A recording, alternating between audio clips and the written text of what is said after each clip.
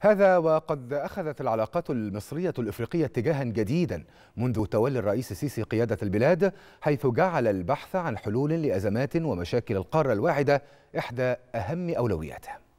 التكامل التجاري القاري.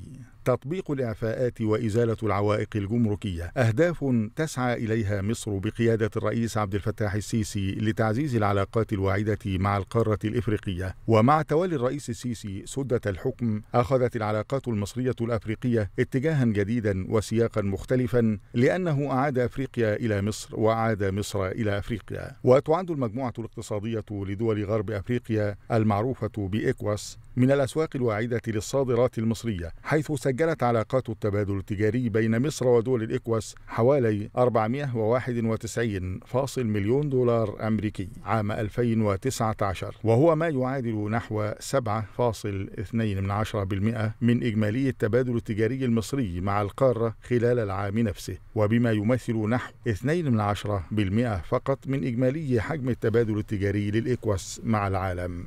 كما بلغ حجم التبادل التجاري بين مصر والكوميسا ثلاثة مليارات دولار عام 2020 فيما تبلغ قيمة الفائض التجاري 1.4 مليار دولار لصالح مصر في عام 2020 هذا وتبلغ صادرات مصر لدول الكوميسا نحو 45% من إجمالي صادراتها للدول الأفريقية التي سجلت عام 2021 نحو 4.767